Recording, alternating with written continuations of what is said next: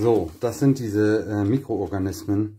Ähm, also letztendlich ist das so, so ein Aktivator für, für einen Teich.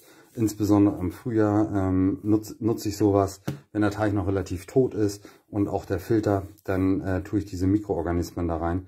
Ähm, und jo, dann geht der Kreislauf halt wesentlich schneller los im, im Teich. Ähm, das vernichtet euch keine Algen oder so, das muss keiner meinen. Ähm, das Schöne ist, das ist halt biologisch, da kannst du nichts überdosieren und so weiter. Angegeben ist das mit äh, 40, nee, 5, Entschuldigung, 50 Milliliter auf 1000. Ähm, ganz gut, man muss nicht abmessen. In der Kappe sind 40 Milliliter drin ähm, und dann kann man einfach ein paar Kappen reintun.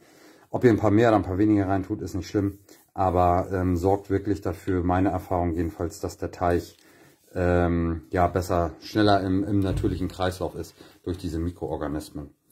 Ähm, genau, von daher im Frühjahr rein in den Teich.